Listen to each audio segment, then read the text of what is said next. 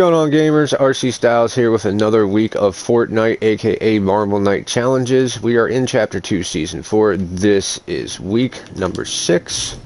And let's get us all started with the final Wolverine challenges. And I say final because we get a lot of shit right here right now to complete Wolverine. Alright, so here's how it's going to go down. Okay? Wolverine challenges. We need to defeat Wolverine in order to unlock him. Now, I do know of an easy way to do this, and that is if you land in Weeping Woods and he happens to be in Weeping Woods. Um, one way you can find out is by gag, uh, grabbing a helicopter, flying low enough to see slow walking footprints. Chances are that's Wolverine, although that would show players too. Then you want to, to acquire a sniper rifle, sit on top of one of the houses within range of Wolverine, and start shooting him in the head. He will turn around with the question mark and be looking for an attacker. He will not be able to see you as you're going to be sitting on the roof, and you can easily knock and kill him. So that challenge could very well be easy or even a little bit difficult depending on the amount of players in the game at the time.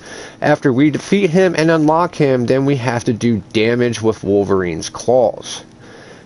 Once we do damage with Wolverine's claws, we will unlock the next uh, thing for him, which should be his harvesting tool being his claws and then regain health as Wolverine, that will finally unlock the rest of the challenges for us and give us Wolverine to use in the game. And as you can see, Micah is there saying hi to everybody. Okay, now on to week six challenges. We got a couple easy ones right off the bat, as we normally do. First, we want to search chests at Weeping Woods. You need seven of those. Eliminations at Misty Meadows. You need three of those. Collect stone from Coral Castle. You need 300 units. Consume a legendary fish. You only need to do this one time. You're going to need the pro rod to do so. And maybe this is where you're going to come across the Midas flopper. I am not 100% positive on that one, but yeah, we may see. Okay, uh, incidentally, if you want the Midas flopper, that is actually located around the Authority, and you do need the pro fishing rod in order to catch it. With all that, he is still a rare catch. Okay, so now we want to consume foraged, foraged items at Holly Heights, Holly Hedges, excuse me.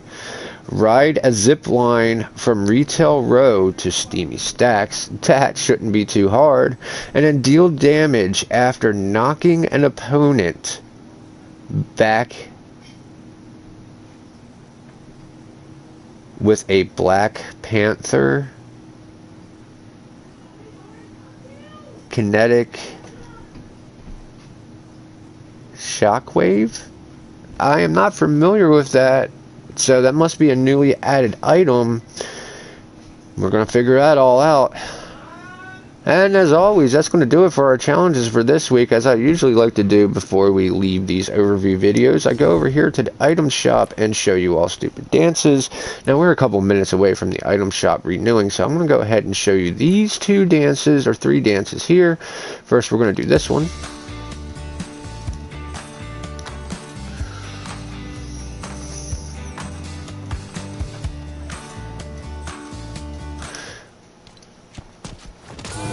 Pissed off blade.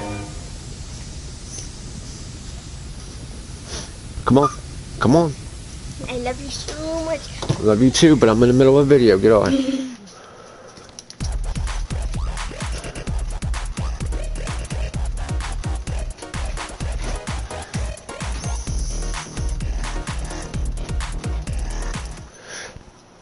Hmm, about one minute, the item shop will renew. But being that we unlock Wolverine today, I don't really see us getting anything very super special tonight. So with that, until we do our Fortnite fuckery later, make sure you tune in with us later on tonight as we launch Star Wars Squadrons at midnight. And don't forget, it's now October, so now Gamers Purgatory is taken over by Friday Night Frights for Death Overfest 2. Until then, gamers, I'll be seeing you.